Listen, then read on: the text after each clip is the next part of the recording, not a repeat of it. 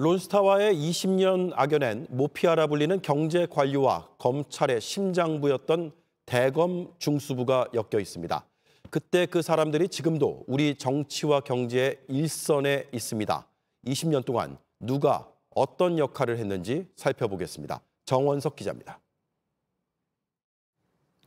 먼저 정부가 2003년 론스타의 외환은행을 매각할 당시부터 보시죠. 1조 3,800억 원에 팔면서 헐값 논란이 일었습니다. 당시 론스타의 법률 대리를 맡은 곳은 김앤장인데 한덕수 국무총리는 김앤장의 고문이었습니다. 정부가 매각을 결정할 당시 경제부총리는 김진표 현 국회의장입니다.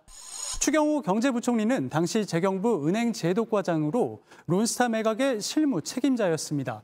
그런데 국회와 시민단체에서 외환은행 헐값 매각 의혹을 제기하면서 검찰이 수사에 나섰습니다.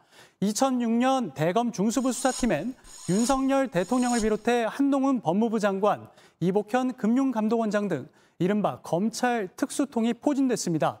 하지만 초호와 수사팀 치고는 성과가 크지 않았습니다.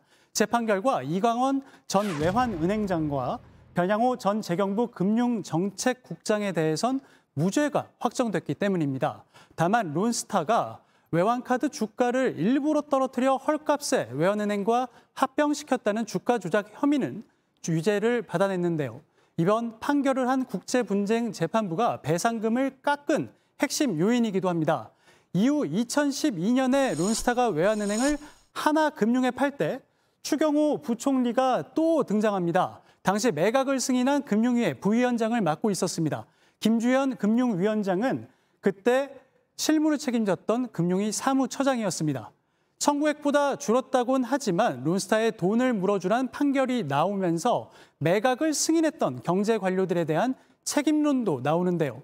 당사자들은 2003년 론스타에 팔지 않았다면 외환은행은 파산했을 것이라며 어쩔 수 없는 선택이었다고 해명하고 있습니다.